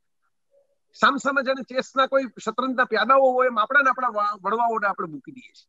તમે વિચાર તો કરો, આપણા બાપ દાદાઓનું આપણે અપમાન કરીએ છીએ, કારણ કે તમારા મારા દાદા કે દાદી કે નાના કે નાની એમને એમને સમર્થન કરતા હશે, એમની, એમને માટે મતદાન કરવા નીકળ્યા હશે, એમના માટે એમની લડતની અંદર જોડાયા હશે, એમની સાથે બેઠા હશે, એમની વાતોથી પ્રભાવિત થયા હશે. એટલે આ દેશ માટે બધાનું કંઈક કંઈક પ્રદાન છે અને આપણે આપણે શું છે? માણસ માનવ સ્વભાવ છે સાયન્સ છે. કે આપણને જે ફ્રેમ થયેલું ચોખ્ઠું હોય ને, એ માપી શકાય. માપી શકાય ને એનાથી ડર ઓછો લાગે. અવ્યાખ્યાયિતથી ડર વધારે લાગે. એટલે કૃષ્ણ છે, એ એનાથી કેમ આખા મહાભારતમાં ભીષ્મ જેવા ભીષ્મ છે, એમને જરા મૂંઝવણ થતી. શું કામ પિતામાં ભીષ્મ ને કૃષ્ણથી મૂંઝવણ થતી? કારણ કે કૃષ્ણ અવ્યાખ્યાયિત છે અનપ્રેડિક્ટેબલ છે. તમે એક ચોખ્ખામાં એક ફ્રેમમાં ફિટ ન કરી શકો. ક્યારે કેવી રીતે વર્તશે? તમે તમે એનું માપ ન કાઢી શકો. તો આ વાત જે છે એ ઇમ્પોર્ટન્ટ વાત છે અને એટલા માટે કે આ અનપ્રિડિક્ટેબિલિટી જે છે એનાથી માણસ ડરે છે. માણસને ચોક્કસ આકાર જોઈએ, ચોક્કસ ઘાટ જોઈએ. ન સમજાય એવી વાતોથી ડરે છે. પોતાના ફૂટપટ્ટીમાં જે માપી ન શકાય એવા વ્યક્તિત્વોથી ડરે છે. એટલે આપણે ચોખ્ઠા બનાવીએ. અને ચોખ્ઠા બનાવીને આપણને હશકારો થાય હવે છે ને આ મેં મારા માપમાં ગોઠવી દીધું. આ મેં કાપી કૂપી અને મારી સાઈઝમાં સમાવી દીધું. હું હમણાં સુભાષભાઈ ભટ્ટ, બીજુભાઈને ખ્યાલ છે? બહુ મરમી ચિંતક છે આપણા ભાવનગરના. અને બહુ ઋષિ પુરુષ છે પોતે પણ. તો એમની સાથે વાત કરતો હતો તેમણે મને એક વાત કરી કે ભાઈ એક પંખી હતું ને પંખીની વ્યાખ્યા સુંદર પંખી હતું બહુ. અને સુંદર પંખી હાથમાં આવ્યું, એટલે પ્રજાને એમ લાગ્યું કે પક્ષી તો સુંદર છે, પણ એનું નામ નથી ખબર પડતી. તો એના જેટલા રંગબેરંગી પીછા હતા, પંખીના જેટલા રંગબેરંગી પીછા હતા, બધા ખેડવી રાખ્યા. અને સાવ પેલું જે પીછા વગરનું એકદમ કદરૂપું દેખાતું પંખી થઈ ગયું તો કે હવે બરાબર, હવે ઓળખાય એવું લાગે છે.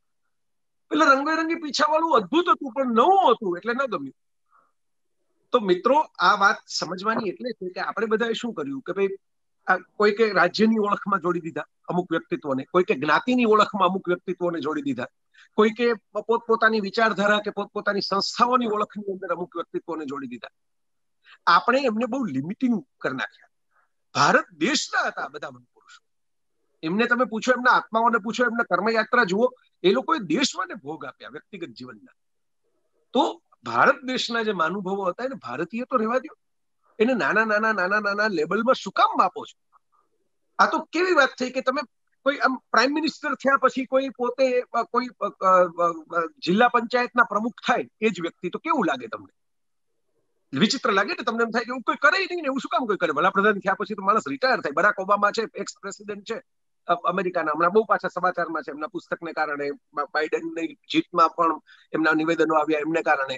તો તમે એવો વિચાર કરો કે હવે બરાક ઓબામા છે, ક્યાંક અમેરિકન કોન્સ્યુલેટની અંદર કંઈક નોકરી કરતા હોય કે એમ્બેસેડર તરીકે ક્યાંક આવે ભારતની અંદર, તો કેવું લાગે? યુનાઇટેડ સ્ટેટ્સના આઠ વર્ષ પ્રેસિડેન્ટ રહી ચૂકેલો માણસ છે, રિટાયર થયા પછી કોઈ બીજી નોકરી કરવા જાય નોકરી કરે એની મોજથી જેમ અબ્દુલ કલામ સાહેબ ભણાવવા જતા, એની હું વાત નથી કરતો. પણ ક્યાંક એ નીચી પાયરીમાં ઉતરે એવું તો શક્ય જ નથી ને, એવું બને નહીં. આપણે નીચી પાયરીના સ્ટીકરો મારીએ છીએ, આ બધા નેતાઓને. એટલે મારી એક વિનંતી છે નાનકડી, આ પચાસમી સુવર્ણ જયંતિ એક વિચાર યાત્રા કરું, તો મારી નાનકડી વિનંતી એ છે કે બાબા સાહેબ માત્ર દલિતોના આગેવાન શું કામ? બાબા સાહેબ ભારતના આગેવાન દલિત પણ ભારતના નાગરિક જ છે, અને દલિત એવો મને તો મારા પિતાશ્રીનું નામ લલિત છે, હું તો કહું છું બધું લલિત જ છે. શું કામ કઈ દલિત હોય, કઈ ચલિત હોય, કઈ પલિત હોય, શું કામ હોય? આ મનમાં ભેદ આપણે ઊભા કર્યા એ આપણી ભૂલ છે ને? સ્વામી સચ્ચિદાનંદના પુસ્તકનું શીર્ષક મને ગમે છે. ઘણાને બોલ્ડ લાગે છે, ઘણાને આકરું લાગે છે. પણ એ બહુ સ્પષ્ટ સત્ય એમણે કહ્યું છે, અધોગતિનું મૂળ વર્ણ વ્યવસ્થા. આપણી ભાષામાં અદ્ભુત વાતો ઘણી બધી છે અને આપણે એને પોખીએ વખાણીએ. હવે આમાં પછી આપણે જસ્ટિફિકેશન કરવા માટે બચાવ પણ આપીએ કે ભાઈ આ અમુકમાં આમ હતું ને આ શ્લોક તો પાછળથી ઉમેરવામાં આવ્યો છે કે આ વસ્તુ તો આમ હતી ને આ મુગલોએ આમ કર્યું આમ કર્યું. એક બહુ ચોક્કસ આવા આટલા બધા બહાના અને કારણો બતાવવાને બદલે એટલું ન કહી શકીએ કે ભૂલ હતી. જે હતું એ જે કારણથી થયું એ ભૂલ હતી ને હવે આપણે એ ભૂલનું પુનરાવર્તન નથી કરવું. મારી આગળની ગાડી વરસાદની અંદર, ધુમ્મસની અંદર શિયાળામાં હવે ધુમ્મસનો સમય આવી ગયા છે. તો મારી આગળની ગાડી છે, એની હેડલાઇટ ઉપર હું ધીમે ધીમે ચલાવતો હોઉં, કારણ કે બાકીનું દ્રશ્ય દેખાતું ન હોય, તો એ ક્યાંક લાલ લાઇટ કરે તો મારે ઊભી જવું પડે કે નહીં? તો મારે એટલું શીખવાનું છે આમાંથી કે આ ભૂલ હતી કે ભટકાઈ જવાનું હોય, પેલી લાલ લાઇટ જોઈને સીધે સીધા એ ખાડા તો આ મારે શીખવાનું છે મિત્રો. તો આ હું તો સુનિલભાઈ જાદવે રાજકોટમાં જ કાર્યક્રમ કરેલો, એ પણ અધ્યાપક છે યુનિવર્સિટીને, એટલે સૌરાષ્ટ્ર યુનિવર્સિટી સંલગ્ન કોલેજના. તો એમણે પ્રોગ્રામ કરેલો બુદ્ધ ને બાબા સાહેબ સુધીનો અને મારે એક વ્યાખ્યાન આપવાનું હતું. મેં જાહેરમાં માઇક ઉપર કહ્યું રેકોર્ડેડ છે લેક્ચર કે બીજા કોઈ કરે કે ન કરે. પણ હું એક ભારતના નાગરિક તરીકે જો એવો એવું કહેવાથી પાંચ પાંચ જણાના મનમાં ભેદ ઓછા થતા હોય. પાંચ જણાના મનની વેદના ઉપર મલમપટ્ટો થતો હોય, તો કહેવાતા સવર્ણ તરીકે, હું તો આંતરજ્ઞાતીય લગ્નનું સંતાન છું અને નરસિંહ મહેતાનો વારસદાર છું બેઝિકલી એટલે એ નરસિંહ મહેતાની સમરસતાની વાત ઉપર જ હમણાં હું આવું છું, આગળના વાત તો એ હું જાહેરમાં એવું કહેવા તૈયાર છું કે, હા, અમારા વડવાઓએ અમારી પેઢી જે જૂની હતી પૂર્વ સૂર્યો, એને ભૂલ કરી. હવે એ ભૂલ ત્યારે તો કઈ ઘડિયાળના કાંટા પાછા જઈને ફેરવી ન શકાય ને ભૂલ ઉપર પછી ભૂલની જ ચર્ચાઓ કરીને રાખો, તો બીજી ભૂલ કરો છો તમે. ભૂલને યાદ રાખીને પણ તમે ભૂલ કરો છો. કારણ કે કોઈની ભૂલ યાદ રાખી રાખીને ભૂટિયા કરવી અને બીજું કાંઈ પછી પ્રયત્ન ન કરવો નવો, એ પણ ભૂલ જ છે. પણ હું કહું છું કે હા, ભૂલ કરી અને એના હું વ્યક્તિગત રીતે મને એ ગમતું નથી ને ખૂચે છે, એટલે માફી માંગુ છું. મેં એકવાર નાગપુર ઇન્ટરનેશનલ પેલા એરપોર્ટ ઉપર મેં બાબા સાહેબનું સરસ તેલ ચિત્ર જોયું. ફોટો પાડ્યો અને ત્યાં બેઠા બેઠા ફેસબુક પોસ્ટ પછી તૈયાર કરી અને પછી મેં મૂકેલી પાછળથી. એમાં મેં લેખિતમાં લખ્યું છે, મારી કોલમમાં લખ્યું છે. મને નથી ગમતું આ. અસ્પૃશ્યતા, કોઈ માણસના જન્મના આધારે કે ઇવન કર્મના આધારે. કર્મ નાના મોટા હોય છે, માણસ નાના મોટા નથી હોતા. તમે એમ કહી શકો કે આ આવડત ઓછી છે, આ આ કામ કરશે. આની આવડત વધારે છે, આ કામ કરશે. એ બરાબર એ હું સ્વીકારી લઉં કે કોઈ અમથાભાઈ હોય અને કોઈ આઈન્સ્ટાઈન હોય, શક્ય છે કે અમથાભાઈને અમુક વસ્તુઓ ન ફાવે ને આઈન્સ્ટાઈનને અમુક વસ્તુઓ ફાવે. પણ એવું બને કે આઈન્સ્ટાઈન અમથાભાઈ જે માની લો કે જે રીતે ગાર્ડનિંગ કરે કે ડ્રાઇવિંગ કરે, એ આઈન્સ્ટાઈનને નહીં ફાવતું હોય. એટલે કામ નાના મોટા હોઈ શકે, માણસ નાના મોટા નથી હોતા. એટલે ગુણ, કર્મ, જન્મ કોઈ પણ ખાના કે કોઈ પણ ચોખ્ઠાની અંદર માણસને બાંધી દેવો ને એ જ મને પેલી ફ્રીડમના સ્પિરિટનું જે આઝાદી આપણે મેળવી, જેને આપણે સિત્તેર વર્ષની કરી અને જે આઝાદી માટે આપણે આ સંવિધાન જળવાય એટલા માટે કે વ્યક્તિઓ તો જતી રહે, પણ આઝાદી ન જતી રહે. એ આઝાદીનું અપમાન લાગે છે મને એટલે મને એ અસ્પૃશ્યતા તો ગમતી જ નથી. એ એ વાત જ ગમતી નથી. આ અમુક પ્રકારની મેલું ઉપાડું ડાતે મેં કરસનદાસ પે ન્યૂઝ ફિલ્મ આવી ત્યારે એક આખો લેખ લખેલો. કે આ મહત્વની વાત છે, આ સમજવા જેવી વાત છે. ગુજરાતનું એક આ પણ એક ક્રાંતિ છે. આપણે એક મહેન્દ્રસિંહ પરમાર નામના અધ્યાપક મિત્રએ પણ એક વાર્તા એવી લખેલી. અને આ તો આખી ફિલ્મ બની ગઈ, મયુર ચૌહાણ એનો હીરો. એટલે એ પણ સિમ્બોલિક છે. કૃષ્ણદેવ યાજ્ઞિક ડિરેક્ટર આ તો સમન્વયના સિમ્બોલ્સ છે બધા. તો એક સફાઈ કામદાર હીરો હોય, એના માટે સીટીઓ વાગે થિયેટરની અંદર. એવી ફિલ્મ બને. મહત્વની વાત છે, કારણ કે આપણે એવું માની લીધું છે કે સફાઈ કામદારનું કામ છે એ બહુ એમ કે નીચલી પાયરીનું કામ છે. શું કામ ભાઈ? આપણે ત્યાં એવી એક વિચિત્ર પરિસ્થિતિ ઊભી થઈ ગઈ કે જે ગાદી તકિયા ઉપર બેસીને કામના ફળ ભોગવે એ મોટો.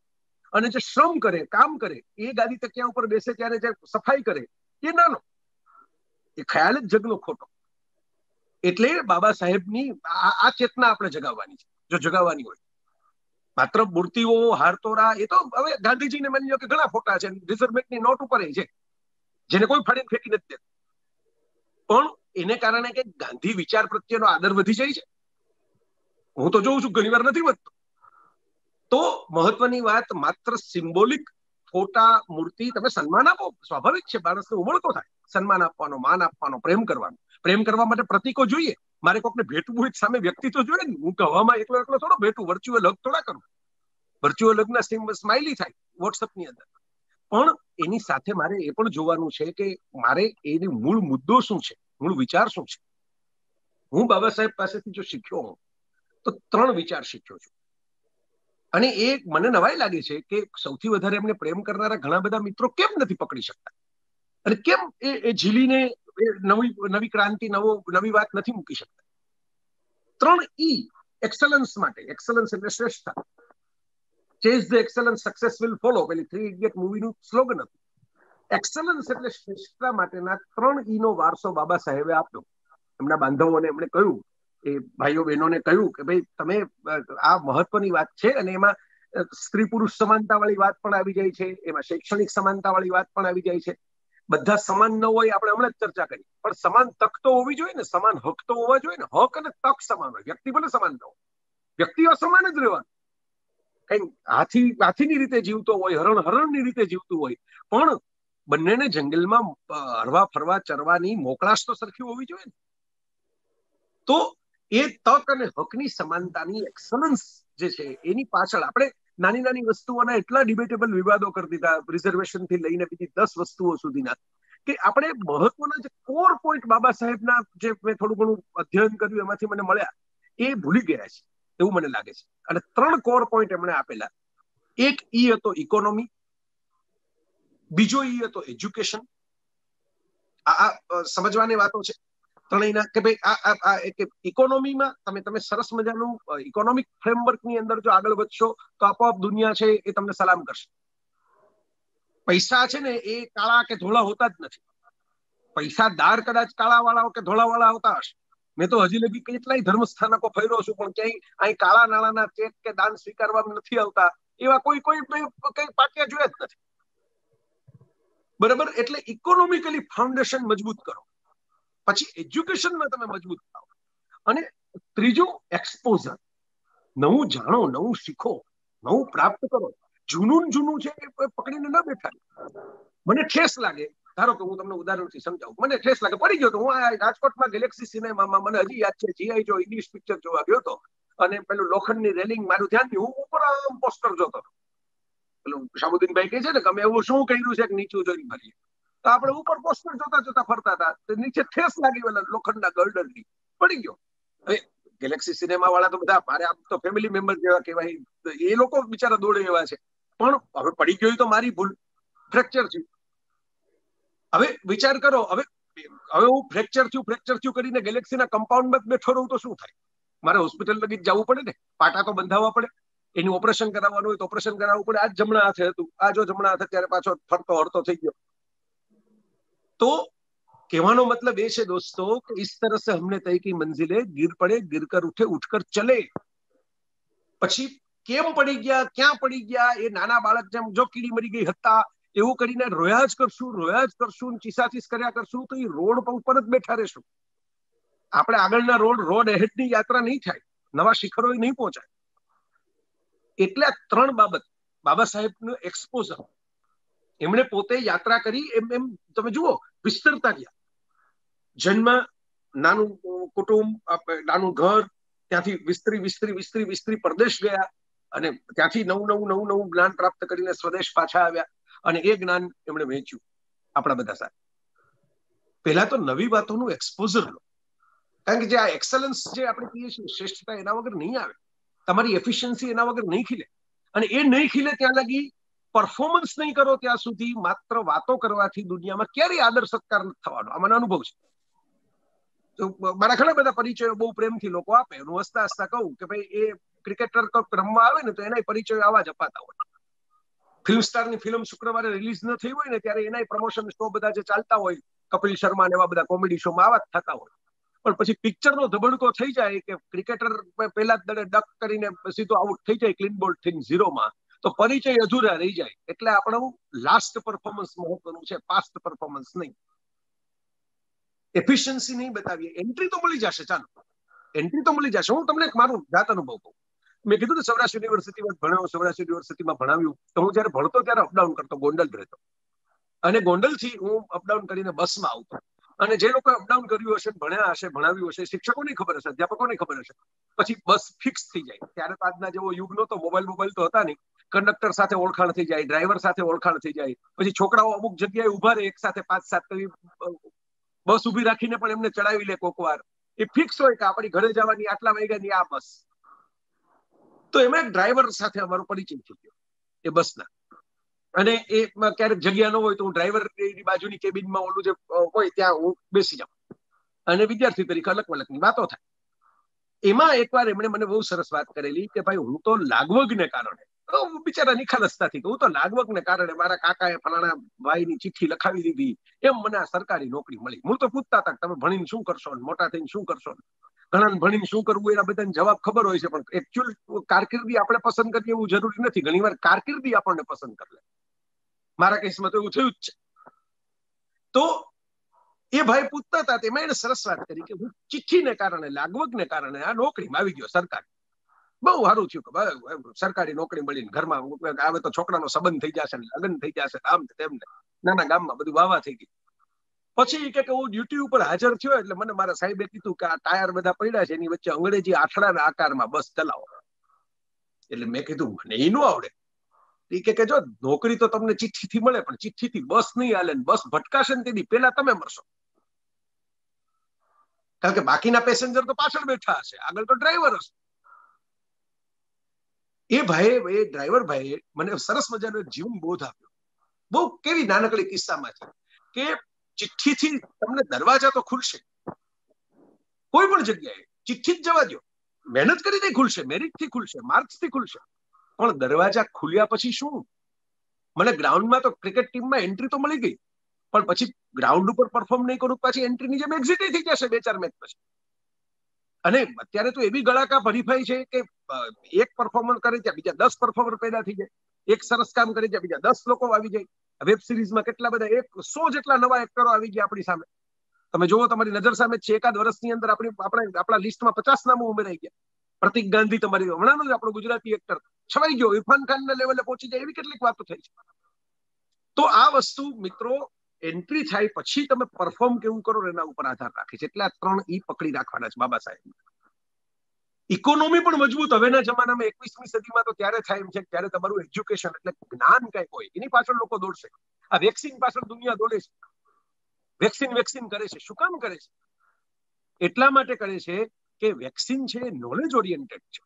જેની પાસે કોઈ એક માણસ આજે આવીને ઊભો રહે કે મારી પાસે કોરોનાનો તોડ છે. કેવી દુનિયા પાગલ થઈ જાય એની પાછળ? વિચાર કરો. તો એ પાગલ પણ ક્યાંથી આવ્યું? એનો ચહેરો કેવો દેખાય એમાંથી નથી આવ્યું? એની હાઈટ કેવી છે એમાંથી નથી આવ્યું? એના સ્કિનનો કલર કેવો છે એમાંથી નથી આવ્યું? ગોરો કી ન કાલો કી દુનિયા હે દિલવાલો કી એ પાગલ પણ આવ્યું, દુનિયાનું ક્રેઝીનેસ આવી, એના પરફોર્મન્સમાંથી એને જે એજ્યુકેશનથી કરી બતાવ્યું એમાંથી.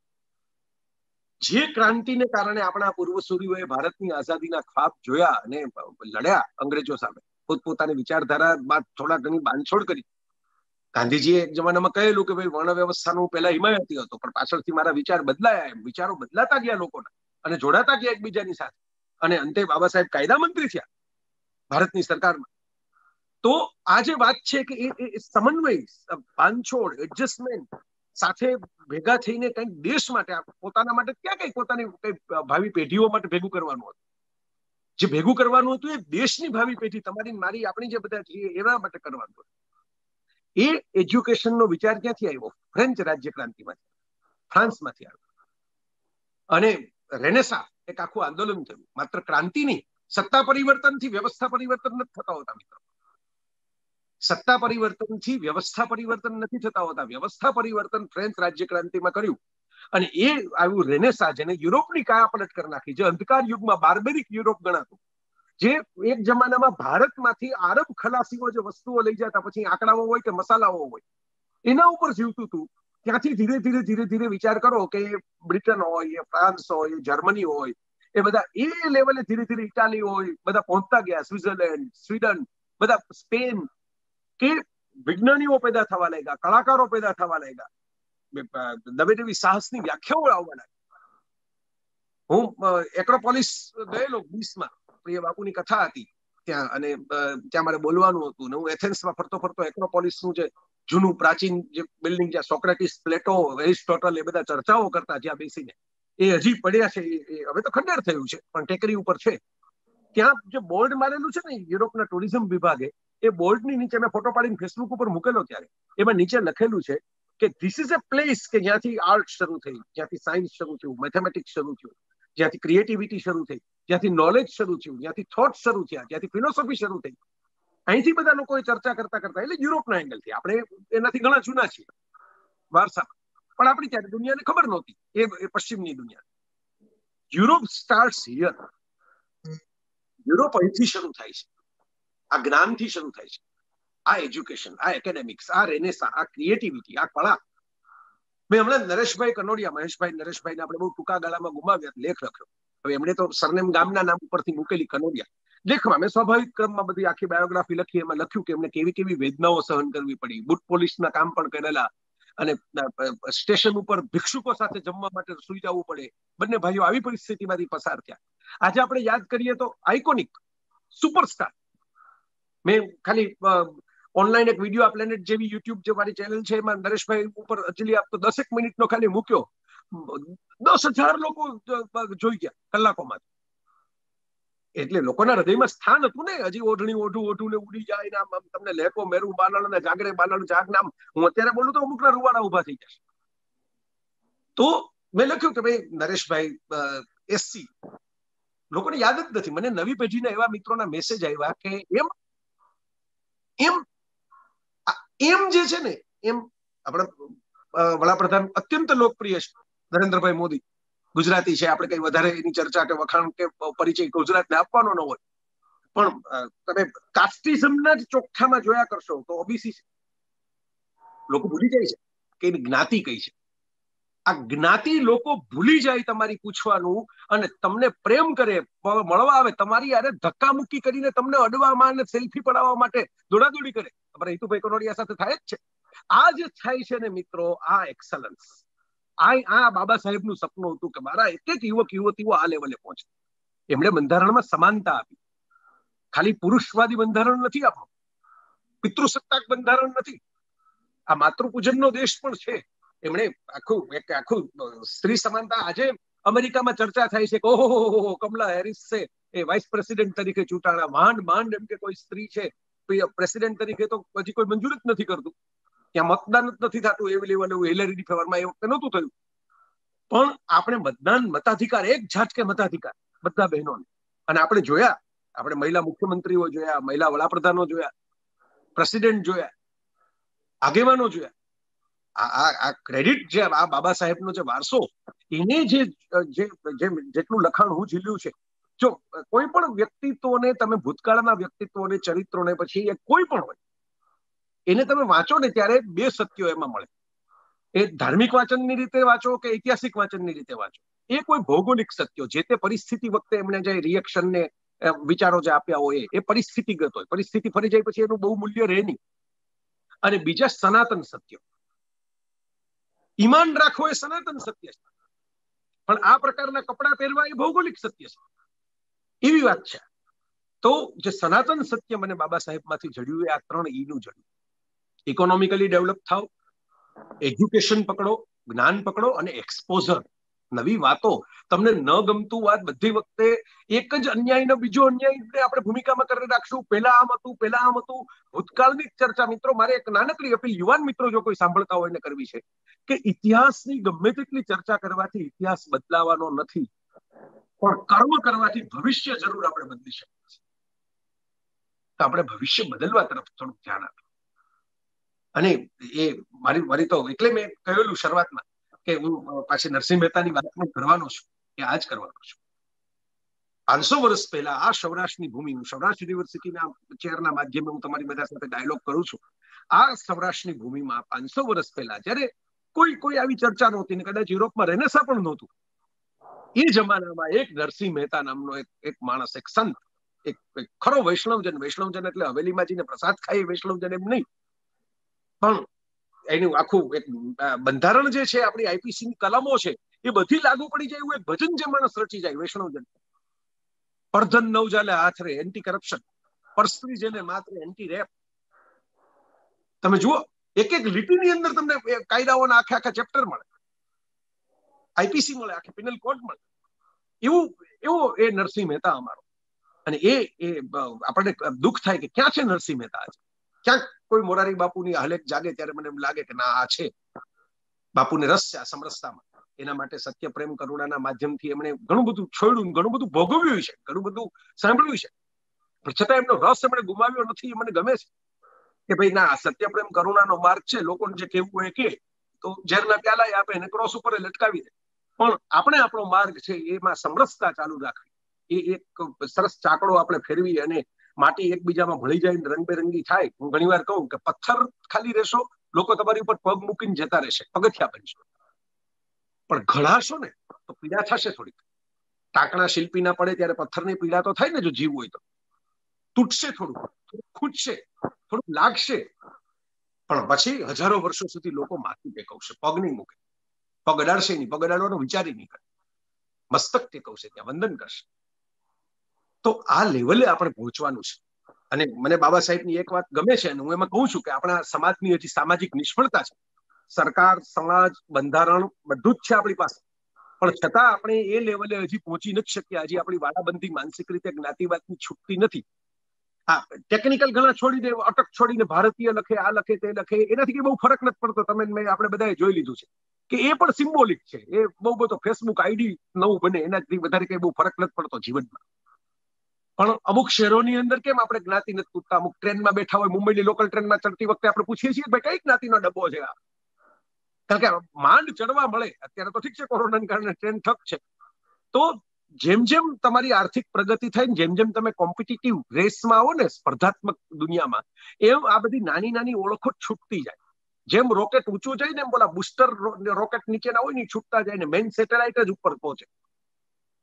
તો આપણે આ નાની નાની વારાબંધી સાવ તો ઓળખમાંથી મુક્તિ ન થાય. દરેક જ્ઞાતિને પોતપોતાની આપણે ત્યાં જીનેટિક લાક્ષણિકતાઓ પણ અમુક બની ગઈ છે. અમુક ખાનપાનના, બોલીના, વિસ્તારના ભેદ પણ ઘણા છે. અને ભારત તો વિવિધતામાં એકતા વાળો દેશ છે. એટલે અપાર વૈવિધ્ય છે. તો એ બધું તો એક સાથે ભેગું ન થાય. પણ એટલું ખાલી છૂટે કે જે બાબા સાહેબે કહેલું અંગત સંગત અને પંગત. પંગત એટલે ભેગા જમવાનું, એટલે એકબીજા સાથે નાના મોટાનો વ્યવહાર નહીં કરવાનો.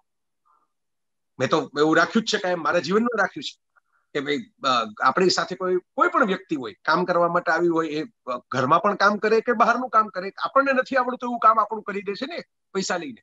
તો જમાડતી વખતે ભેદ નહીં કરવાનો. આપણે જમીએ બધું જ એને જમવા દેવાનું. અને આપણી સાથે જ જમાડવા માટેનો આગ્રહ રાખવાનો. સંગત સાથે કામ કરવાનું, સહકર્મચારી, સહનાઓ ઉડકતું સહવિર્યમ કરવા વહે, સહનાઓ હોતું આપણા ઋષિની પ્રાર્થના છે આ તો, હજારો વર્ષો પહેલાની. સંગત અને અંગત, જેમાં હજી આપણે કાચા પડીએ છીએ. કે એ પ્રકારના રોટી બેટીના વ્યવહાર લગ્નો પણ થાય. અને હમણાં હું સમાચાર વાંચતો તો ઓરિસ્સાની અંદર મુખ્યમંત્રી જે છે નવીન પટનાયક એમણે એક એવું ઇન્સેન્ટિવ પણ જાહેર કર્યું છે કે જે લોકો આવી રીતે ક્રોસ કલ્ચરલ આવા મેરેજ કરે દલિત અને સવર્ણ એ પ્રકારના, એને સ્પેશિયલ ઇન્સેન્ટિવ સરકાર આપે. ઇન્ટરેસ્ટિંગ લાગ્યું મને. અને થોડુંક દુઃખ પણ થયું કે હજી આઝાદીના સિત્તેર, સાત દાયકાઓ પછી આપણે હજી આવા ઇન્સેન્ટિવ જાહેર કરવા પડે. આવી નાની વાત માટે જેને બંધારણની અંદર મોકલાશ. છે પણ એ એટલા માટે નથી થતું કે પછી પેલું પ્રેમ તો થતા થઈ જાય છે, પણ પછી આ જ્ઞાતિ, હાય હાય અરે ઓ, આ બધા જે લેવલ છે ને, એમાંથી જે દેશો મુક્ત થયા દુનિયાની અંદર, એ લોકો મહાસત્તાઓ છે. આપણી નજર સામે તો છે, પછી ટચુકડું ખોબા જેવડું જાપાન હોય, બચુકડું કોઈ ઇઝરાયલ હોય, કે અમેરિકા, કે રશિયા, તમારી નજર સામે છે. ફ્રાન્સ, જૂની ભેદની ભીતો ભાંગશો, તો નવા ફૂલો ખીલશે એ માટીમાંથી. એટલે મારે નરસિંહ મહેતાને યાદ કરવા છે એ જમાનામાં એને સમરસતાની આહલેખ જગાવી. એ જમાનામાં એને પોતાને કે ભાઈ મારી જ્ઞાતિ નાતબાર મૂકે તો નાતબાર મૂકે. પણ મારું શિવત્વ મને કહે છે. મારી અંદર બેઠેલો શામળીઓ મને કહે છે કે ભાઈ મારા માટે બધા સરખા છે. મારી આંખની અંદર ક્યાંય પેલા કબીર સાહેબે જે ઇબ્રાહિમ લોધીને સંભળાવેલ કે મેં તો એક અચરજ દીઠું એટલે હું મોડો પડ્યો તમારા દરબારમાં આવવા માટે. અને બાદશાહે કીધું કે શું અચરજ દીઠું? એટલે કબીરે એમ કહ્યું કે મેં જોયું કે સોય આખા આખા સોયના નાકા જેટલું કાણું. એમાંથી હાથી, ઘોડા, ઊંટ વણઝારો ની વણઝારો નીકળી જાય પણ પૂછડી ન અટકી જાય. એટલે બાદશાહ નવાઈ લાગી કે એવું બને. એટલે કબીરે કહ્યું કે આંખની કીકી છે, સોયના નાકા જેવું કાણું છે. એમાં આખું આકાશ સમાઈ જાય છે, સૂરજ, ચંદ્ર સમાઈ જાય છે. પર્વતો અને નદીઓ ગંગા અને હિમાલય સમાઈ જાય છે આંખની કીકીની અંદર દ્રશ્યમાં પણ એક માણસ બીજા માણસને સમાવી જાય છે. આ વેદના, આ મૂળ બાબા સાહેબનું જે અંતર જે રડતું હતું એ આ. અને આ આંસુ આપણે લૂછવાના છે સમૂહમાં, ભેગા આ માત્ર બ્લેમ ગેમથી નહીં લૂછાય મારા મિત્રો. માત્ર એકબીજાને દોષારોપણ કરી રાખવાથી તમે જવાબદાર હતા, તમે જવાબદાર હતા. જવાબદાર જે હતા એ, પણ હવે આ માની કે દાળ બગડી ગઈ. હવે દાળ કોને કારણે? કોકે મીઠું વધારે નાખ્યું કોકે બરાબર ચડાવી નહીં, ગેસ બરાબર નહોતો. એની ચર્ચા કરશો કે હવે નવી દાળ પણ વઘારશો? મિત્રો ભૂખ્યા સુવું પડશે. તો મિત્રો, મારી વિનંતી છે, હું મારા વિચારો પ્રગટ કરવા માટે મેં દિનુભાઈને પૂછેલું કે ભાઈ, તમે કયો, તમે જો મને મંજૂરી આપો, તમે મને જો સહમતિ આપો યજમાન તમે બધા છો, મારે તમારી પેલા અનુમતિ લેવી પડે, તો હું મારી કેટલીક પેટ છૂટી વાતો કરું. તો એમણે કહ્યું કે હા, કરજો. એટલે સમાપનની અંદર મારે એક, આ બધી ચેતનાઓને યાદ કરીને, બધા પૂર્વસૂરીઓને વંદન કરીને, બાબા સાહેબ આંબેડકર મને મેં કીધું એ રીતે ગમતું વ્યક્તિત્વ, શા માટે બધું ખુલીને તમને બધું કહી દીધું? હવે લોકો એમ કહે કે ભાઈ, આ વસ્તુમાં આમ તો, જો મિત્રો, હું બહુ નિખાલસ વાત કરું. એમ તો મને ગાંધીજીએ ગમે, એમ તો મને અમિતાભ બચ્ચને ગમે, એમ તો મને મહેન્દ્રસિંહ ધોનીએ ગમે, એટલે કે બધાનું બધું જ એક સાથે ગમતું હોય એવું તો પતિ પત્નીમાં નથી થતું. સગા મા બાપનું કે બધું આપણને ગમતું ન હોય. છે આમાં હૃદય ઉપર મારે ક્યાં કહેવાનું છે? આ તો વનવે અત્યારે ચાલે છે. તમારે કઈ મને આવીને સાબિતી આપવાની નથી. તમારા હૃદય ઉપર મિત્રો સાંભળતા હોય, હાથ મૂકીને કહેજો. કે એવું બને છે કે તમારા જીવનમાં જે તમારો કોઈ પ્રણયના સાથી હોય, કોઈ ગર્લફ્રેન્ડ બોયફ્રેન્ડ હોય, કોઈ પતિ, પત્ની હોય, સંતાનો હોય મા બાપ હોય એનું બધાનું બધું જ તમે ધારો એમ જ થાય, બધું ગમે જ છે. નથી ગમતું ને? ઘણું નથી ગમતું આપણને. ઘણાનું ઘણું નથી ગમતું. આપણા વાળા છે ને, આપણે એમ પછી જતું કરીએ કે હવે છે તો આપણું ઘી જોડાય તો ખીચડીમાં છે, આપણા જ છે ને. બધા છે તો ભારતના બધા છે તો આપણા હૃદય મૂળ તો માનવ કલ્યાણ જો ભારતનો તો વારસો કેવો અદભુત. માત્ર દેશનું કલ્યાણ થાય એમ નહીં, સમગ્ર માનવ જાતનું કલ્યાણ થાય. એ વિચારો આપી આપીને ઋષિઓથી શરૂ કરીને બાબા સાહેબ સુધીના આપણા બધા મહાનુભાવ કે આખા વિશ્વનું કલ્યાણ થાય આપણા. એવી વાતો કરવાની. એ એ વાતને પકડી દેવાની. એ આદર્શને રાખવાનો. તો મિત્રો, બધાનું બધું જ ગમે એવું જરૂરી નથી. ન ગમે. આપણે કહીએ. આપણા મા બાપને આપણે કહીએ કે આ વાત નથી ગમતી. આપણા છોકરા છોકરીને કહીએ કે નથી ગમતી. પણ એટલે એને કઈ ઉપાડીને ફેંકી થોડા દઈએ? ન ગમતી વસ્તુઓ સાથે પણ ગમતી વસ્તુઓનું અજવાળું કરવાનું હોય બધું તો આપણને વાંધા તો ભગવાન નહીં પડશે ઘણા ને કે મને મને એક મિત્રએ કીધું હતું કે દાડમ બનાવ્યું ભગવાને. એમાં આટલા બધા દાણા હું કામ નાખ્યા? કેળા જેવું બનાવ્યું હોત તો ખાવાની કેવી મજા આવે? બોલો.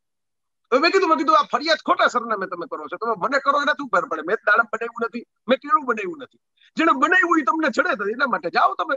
એને ગોતવા તો આ આ મારી મારી મેં કીધું આ પેટ છૂટી વાત હતી એક નાનકડા પ્રસંગથી મારી વાતનું સમાપન કરું જેમાં સમજાઈ જાય એમ છે કારણ કે આપણી સંસ્કૃતિએ જે શીખવાડ્યું છે ને એ શીખવાડ્યું છે મેં જે રામાયણ મહાભારત બધા જે અધ્યયન કરે લોકો એમાંથી નાની નાની એક એક એક પંક્તિઓ વાગતો ચોટીને ગામડામાં રમખાણો કરી મૂકે જીવાડવાની વાતોમાં મારી નાખે એવું બને છે પણ મને જે દર્શન મળ્યું વિચાર કરો આપણે તો રામાયણ લખનારા ઋષિ વાલ્મીકી મહાભારત લખનારા બંનેના માતા તમે જુઓ ને, જો જ્ઞાતિ અને કુળના આધારે જો મોટા મોટા ત્રાજવા પગે લાગવું હોય, તો રામની કથા લખનાર અને કૃષ્ણની કથા લખનાર, ભગવદ્ ગીતા લખનાર.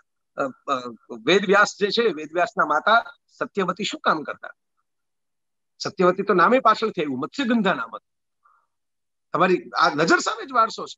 વાલ્મીકી ક્યાંથી ઋષિ થયા? આપણા મહાકાવ્યનું દર્શન આપણને એ તો શીખવાડે છે કે જજ ન કરો. લર્ન ચુકાદા ન આપો. આમ છે કે તેમ છે. સારું ખરાબ બધાની અંદર ક્યાંક ક્યાંક છે. બે સારપના ગુણ કંઈક રાવણમાં દેખાતા હશે હશે. પણ દસ વસ્તુ એવી હશે જે રાવણને રાવણ બનાવીને રામના હાથે મૃત્યુ થાય એ લેવલે પહોંચાડી તો શું ખરાબ હતું, શું સારું હતું? લર્ન કરો અને તમે શીખો એમાંથી કે આપણે દુર્યોધન જેવા આમ ન થવાય. આપણે આપણે ચીર હરણ ન કરાય. ચીર પૂરવા માટે જો કૃષ્ણ ઊભા રહેશો ને, તો દુનિયા પગે લાગશે. દુશાસનના મંદિર નથી, કૃષ્ણના મંદિર છે. કારણ કે એક ચીર ખેંચે છે ને એક ચીર પૂરે છે. લર્ન કરો, શીખો આ વારસામાંથી. ના તમે કઈ વાંધો નહીં. ઘણું એવી વસ્તુ હશે ચાતસ્ય હિ ધ્રુવ મૃત્યુ. જે જન્મે છે એનું મૃત્યુ તો થવાનું જ છે. તો જે જાય એમાં જાય એટલે જે મૃત્યુ છે, જેનો વિનાશ છે, તો એમાં ક્યાંક ને ક્યાંક વર્ષ. કે શબ્દ આવ્યો, યુનિવર્સિટી. યુનિવર્સ, કેમ કરવાના? આપણે કે મંગળ ઉપર ને શુક્ર ઉપર તો બ્રાન્ચ નથી બનાવીને બેઠા. પણ આખા યુનિવર્સનું અખિલ દર્શન જે જગ્યાએ જઈને તમે કરો એ વિદ્યાપીઠ, એ વિદ્યાભ્યાસનું સ્થળ. તો દોસ્તો બહુ મોટા એક ચિત્રકાર હતા, રનવાર. અને એમની આ વાત છે, સમાપનની ભૂમિકાએ જે હું આપને લઈ જઈ રહ્યો છું. બે નાનકડા કિસ્સાઓ કહીને હું આપને સમાપન કરું. ચાલુ રાખો એવું એક મિત્રની કોમેન્ટ આવી, એટલે હું ટબુડીનું ઉમેરણ આપે ને આપણે ત્યાં પ્રેગ્નન્ટ સગર્ભા બહેનો હોય ને ત્યાં જન્મ થાય તો જૂના જમાનામાં માલધારી બહેનો દૂધ દેવા માટે આવે, મેં આ દ્રશ્યો જોયા છે નજરે. તેમ કે એ તો નાનું ધાવણું છોકરું છે. તેમ કરીને ટબુડી ઉમેરણ આપે. એને વરખ એ બીજું ધોવા આપી હતી એ કઈ સોના ચાંદીના ઘરેણા નો આપે, ટબુડી દૂધનું ઉમેરણ આપતા છે એમ ટબુડી આપણે મૂકશું. તો એ રેનવાર જે છે, એ એમને સંધિવા થયેલો, મોટી ઉંમરે, આર્થરાઇટિસ. અને સંધિવાને કારણે ચિત્રો ન દોરી શકે સરખી રીતે. બહુ મોટા ચિત્રકાર અને સ્ટુડિયો હતો આજની ભાષામાં કહીએ તો આર્ટ સ્ટુડિયો કનેક શિષ્યો શીખવા માટે આવે એ જમાનામાં. હવે ત્યારે કઈ પેઇન કિલર ને ઇન્જેક્શન નહીં ત્યારે કોઈ બીજી દવાઓ નહીં. એટલે લાકડાના મોટા મોટા પાટિયા હાથે બાંધે, ફરતા પાટા બાંધે. પાટિયાની ફરતા પાટા. અને એનાથી એ ચિત્રકામ કરે. આંખમાંથી આંસુ નીકળી જાય એવી વેદના થાય, કારણ કે સાંધા દુખે. અને ચિત્ર પૂરું કરવું હોય. એટલે શિષ્યોને ગુરુ પ્રત્યે ભાવ હોય, એટલે શિષ્યો એમ કે ગુરુજી, હવે મૂકો ને મૂકો ને, હવે માથાકૂટ હવે નથી થતું તમારાથી. હવે શું કામ ચિત્ર પૂરું કરવાનું, મહેનત કરો છો? તમને દર્દ થાય છે, તમને પીડા થાય છે. રેનવાર એમના શિષ્યોને એમ કહેતા, ચિત્ર બતાવી જુઓ, ચિત્ર તો પૂરું થઈ ગયું. વર્ષો પછી કોઈક માણસ આ ચિત્ર સામે ઊભો હશે ને ત્યારે એને ખબર નહીં હોય કઈ પરિસ્થિતિમાં ચિત્રકારે દોર્યું. બ્યુટી રિમેન્સ પેઇન પાસીસ સૌંદર્ય ટકી જાય છે, શાશ્વત. પેઇન દર્દ જે સૌંદર્ય ઘડવા માટે તમે વેઠ્યું હોય છે ને, પાસીસ, એ ભૂલાઈ જાય છે, ભૂલાઈ જાય છે. દરેક સર્જન સાથે જોડાયેલું આ સત્ય છે. એક સત્ય આપણે આ સમજવાનું છે. બીજું સત્ય ઓશોની એક નાનકડી કથા. આ પેલું ટબોડીનું ઉમેરણ એ ઓશોની એક નાનકડી કથા. અને એ કથા એવું કે ભાઈ કે છે કે ભાઈ પેલું ઉપનિષદને સમજાવતા સમજાવતા ઓશોએ આ વાત કરેલી કે પેલો રાજા છે એ સ્વર્ગ અને નરક શું છે? બધાને પૂછ્યા રાખે પછી ધીરે ધીરે મેન્ટલ ઓપ્સેસ થઈ ગયો. સ્વર્ગ, નરકની વ્યાખ્યાઓ પકડવી છે ઘણા આપણે એવા ન મળે. બધી નાની નાની નાની, ઝીણી ઝીણી ઝીણી ઝીણી ઝીણી ઝીણી ઝીણી બધી પાણીમાંથી પોરા જ કાઢા કરે. એવું થઈ ગયું અને ઓબ્સેશન સ્વર્ગ, નરકની વ્યાખ્યા, સ્વર્ગ, નરકની વ્યાખ્યા. તો જંગલમાં એક ગુફામાં એમ ખબર પડી કે ફલાણા એક ઋષિ તપ કરી રહ્યા છે. એને મુજબ ખબર પડે ઋષિ તો તલ્લીન હતા ગુફામાં. એને કઈ પડી નહોતી દુનિયાની રાજાની. એટલે તો ગુફામાં બેઠા હતા. રાજા ઘૂસી ગયા ગુફામાં. તમને દુનિયાની ન પડી હોય દુનિયા ખુશી જાય તમારી પાછળ જજમેન્ટ દેવા માટે. તો રાજા ઘૂસી ગયા અને રાજા ઘૂસી અને ઋષિને જગાડીને એમ કીધું કે ભાઈ, એમ કે સ્વર્ગ નરકની વ્યાખ્યા મારે જાણવી છે, આમ છે તેમ છે. ઋષિ કઈ બોલ્યા નહીં. જોયા કર્યું રાજાની સામે ટગર ટગર. ઋષિનું મૌન છે એ રાજાને શબ્દો કરતા વધારે આકરું લઈ અને રાજાએ તલવાર કાઢી. તલવાર કાઢીને ઋષિના ગળા સુધી પહોંચાડી અને એને એમ કહ્યું કે ભાઈ મારી નાખીશ તને મારી નાખીશ તો જવાબ નથી દીધો. એટલે ઋષિ એની સામે જોઈ, થોડુંક સ્મિત કરીને એમ કહ્યું આ નરક છે. રાજન શું ગોતવા તો સવાલનો જવાબ નીકળો તો, સાવ જેવો તેવો માણસ તો નહોતો. એટલે એમ થયું કે કંઈક આ તો સમજવાની વાત થઈ, કંઈક ગડબડ થઈ. એટલે તલવાર મૂકી દીધી. થોડોક ગુસ્સો શાંત થયો. અને આમ આમ પ્યાસી આંખો જેને કહેવાય ને એવી આસક્તિથી જોયું કે હજી કંઈક વધારે જ્ઞાન મળે. એટલે એ જે શાંતિ થઈ એના ચહેરા ઉપર. ઋષિ પાછા હસ્યા અને એમ કહ્યું, આ સ્વર્ગ છે. સ્વર્ગ અને નરક આપણી ભીતર છે. આપણે જેને વધારે પંપાળીએ, એવા થઈએ. આપણે ભેદને પંપાળશું તો ભેદવાળા થશું ને ભાવને પંપાળશું તો ભાવવાળા થશું. આટલી જ વાત છે નાનકડી. આટલી જ સમજણ છે. બીજી કોઈ બહુ મોટી મહાન સમજણો વેચવાની નથી. પણ એ સમજણ માટે આપણે એટલા બધા અહંકારી થઈ જઈએ છીએ કે એકબીજાને ઈગો ક્લેશ થઈ જાય છે આપણો. કામ કેમ કીધું? હું તો ઘણીવાર બહુ રોકડા અને સ્પષ્ટ જવાબો આપું છું. ઘણીવાર ઓનલાઈન મિત્રો આવે એને આપું છું.